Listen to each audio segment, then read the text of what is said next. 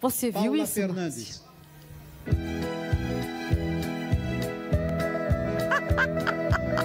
Gente, eu tinha 12 anos de idade. Se eu tinha isso.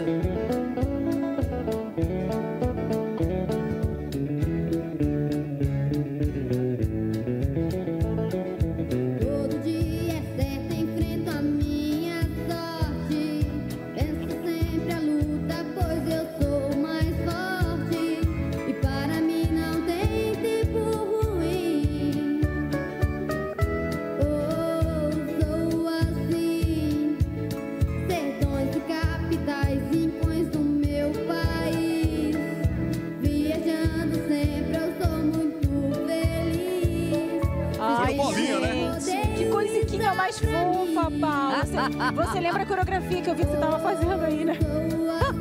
O jeitinho de cantar já tava chegando no tom.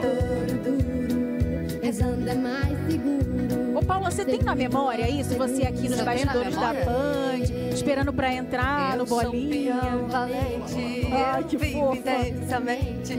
Você lembra onde foi? Maneira de viver. Você lembra onde? Ah, lógico que foi aí no programa do Bolinha aqui, mas eu não, eu não lembro o ano, né? Faz muito tempo isso. Gente, olha, espia isso. Sorte que É a gente muito tá na sensacional. sexta-noite.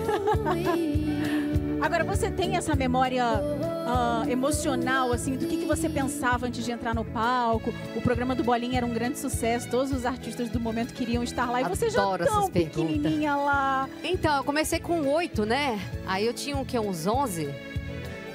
Olha, olha isso, gente. Não é sensacional. É, o Bolinha era um ícone, né? Todo mundo assistia o Bolinha.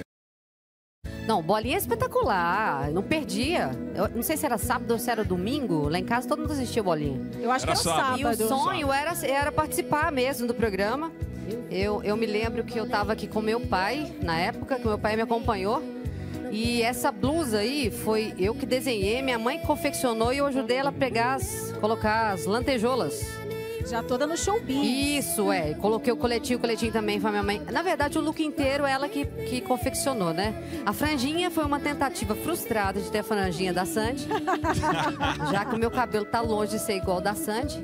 E a bota a gente mandou fazer também. E essa música é uma versão Sensacional. de uma música em inglês, que eu não lembro o nome agora. Mas é minha e de um tio meu, que é irmão do meu pai, inclusive. Uma das minhas músicas, as primeiras músicas que eu escrevi em versão. Ah, foi a primeira.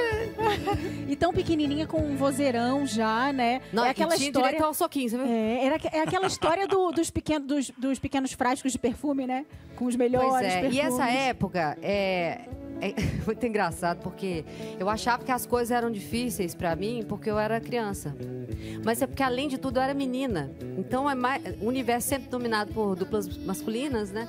E chega uma, um catoquinho dessa aí. Mas, assim, valeu su- super a pena, assim. Eu tenho saudade e tenho boas recordações dessa época. Gostou da surpresa? Nossa, eu amei, tô, assim, emocionada.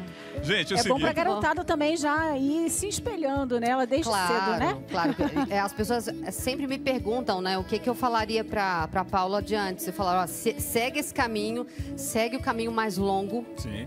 né? Porque é, é- é o ideal. O caminho mais curto, ele, ele é enganoso, sabe? Eu acho que assim, a gente pode até mil- ter milhões de propostas Sim. indecentes, mas o caminho mais longo é sempre mais honesto, mais, mais digno, é mais doloroso, mais árduo, mas depois você vai se orgulhar. Sempre dá certo, né? Confia.